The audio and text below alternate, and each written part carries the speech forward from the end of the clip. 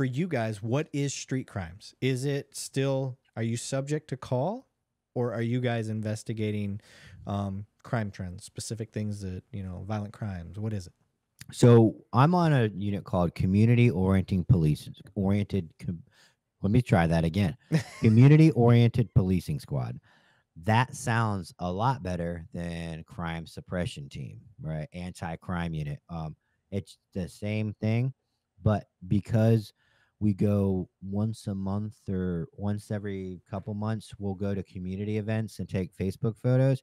It's a government grant. So this this whole nine people, two supervisors, uh, per per rotation, um, is all federally funded.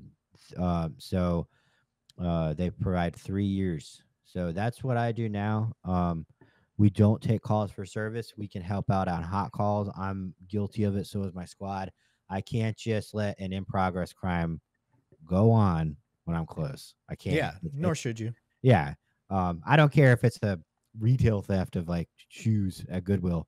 You know, if I can stop a crime or at least get the patrol guy an arrest, because I hated that being on patrol. I still hate it now. Like you go and you try so hard your whole shift to catch this guy, and then the guys to the next day catch him based Yeah. off of all. And it just sucks. It, it- overall, that's how it has to happen. And especially if you're a detective, you're not going to get that instant gratification all the time. You do all the legwork, and then somebody's like, "Hey, I got him," and you're like, "Yeah, that's that's all I care about," you know. Yeah.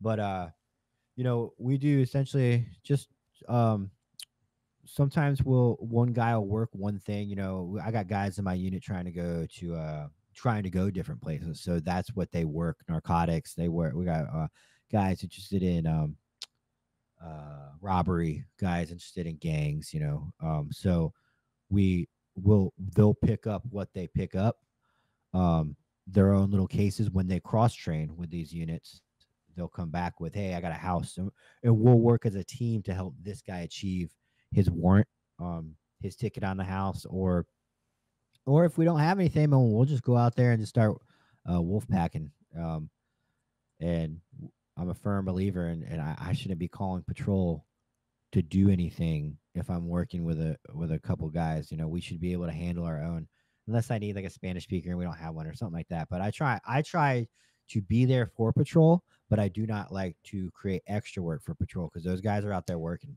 Yes. Yes. So me as a future sergeant, like I'm um I got I got a small taste. I was actually put in a position that was supposed to be my permanent position when I promote.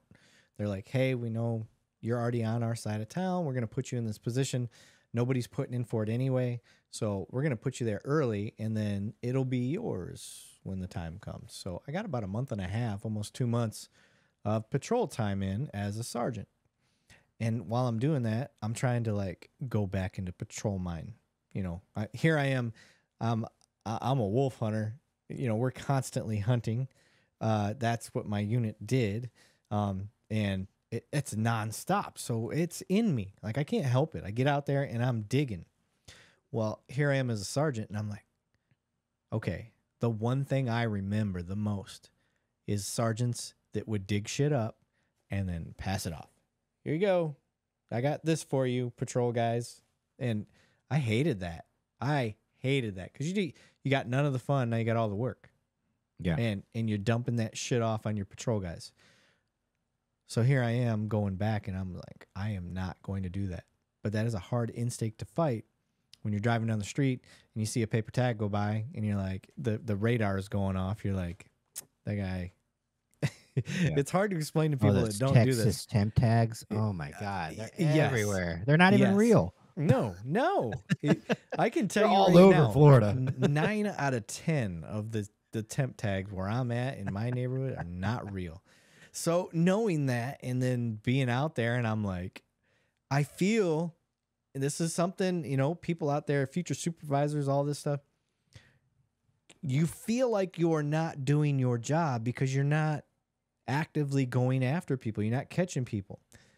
But and you'll appreciate this from your military time you have to remember somebody's got to step back and help handle the bigger picture. Because when you're the patrol guy and you're knees deep in the shit, you're not thinking about that. Mm. You're thinking about right here, right now. And if you, as a supervisor, for my sergeant, future sergeants out there, if you catch yourself, you're like, no, I want to show, I want to lead from the front, I want to show them, lead by example. You can't fucking do that because you're Yeah. gonna get tied up and shit's gonna hit the fan, and they're gonna need you for that.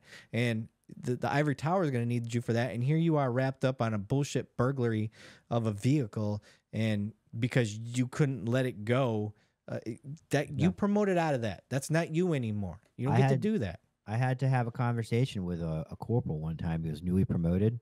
Uh, great dude. Uh, he was a go getter, and he stopped this car, but at the end of shift, at the oh you motherfucker and he found all. I mean, we're talking dope. He didn't find any guns, but warrants, dope. Uh, and the biggest thing was a bunch of fucking IDs and credit cards. oh no He found all that at the end of shift all those victims and then he he yeah and then he uh and then he goes all right here you go man and i had i was like oh i was like i know you're new and i know you did not mean this but i'm going to tell you a little bit about me i go home on time and the next time you catch it you clean it the next time you do this i'm not going to be here and he was like and then I, I talked to him. I was a little stern. It was covered in some comedy and humor, but he knew. And the next day, he was like, "Hey, dude, I, I kind of realized I fucked you on that. Sorry, dude." Yeah. And uh, the but- light bulb goes off because you don't think about it you're in wolf hunter mode you're like fucking got him and then you don't think about the end